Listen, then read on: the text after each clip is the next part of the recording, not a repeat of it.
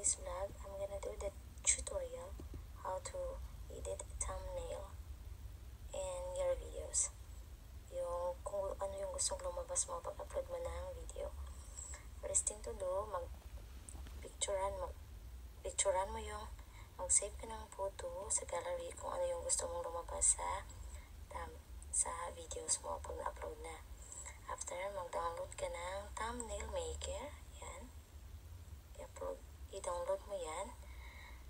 Tapos, before ka mag-upload ng video sa YouTube, mag-edit ka muna ng thumbnail para ready na siya mamaya. Ayan, pumunta ka sa thumbnail. And then, punta ka sa thumbnail maker. And then, yan, yan yung lalabas pag na-press mo na siya. Pwede kang mamili dito kung dalawa bang picture ang ilalagay mo. Isa ba?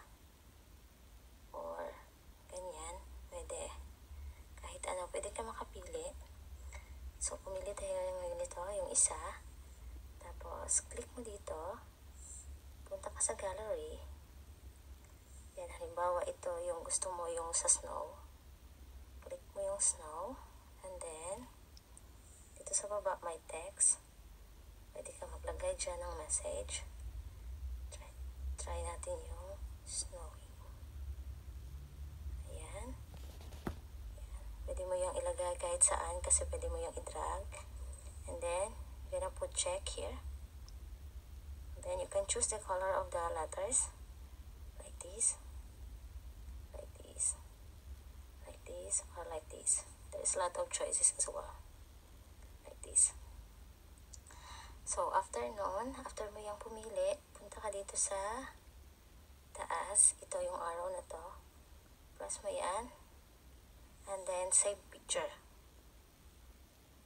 So, punta tayo sa gallery kung nasa iba.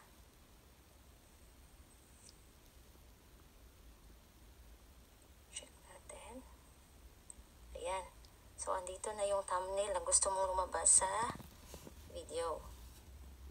And then, upload ka na ng video sa YouTube. Punta ka sa YouTube, upload ka ng video. Antayin mo na matapos yung process and everything. Pagtapos na lahat, punta ka dito sa YT Studio. Yan. Ano ko yan? um, profile. Tapos, punta ka dito sa, may, tat, dito, may tatlong linya. Press mo yan. Makikita mo yung videos. Press mo yung videos kung saan yung in-upload ko na bagong video, dito yung lalabas. So, kasi snow yung ginawa ko. So, lagay ko dito, press ko itong snow. Tapos, lalabas tong pen sa itaas. I-press mo yan siya. Yan, edit thumbnail. So, i-press mo din to. And dito sa baba, change. So, pupunta ka doon sa gallery, sa recent doon mo makikita ito. Tapos, yan na. Yan yung gusto mo kasi na ilagay sa front. And then you put, click select. And then download thumbnail. Huwag kalimutang i-download muna bago i-save para siguradong mapunta doon. And then, click save. Yan. So, yun na siya balik ka doon, yan na yung lalabas. Tignan yun. Change na, diba? So, yun lang yun kadali, guys.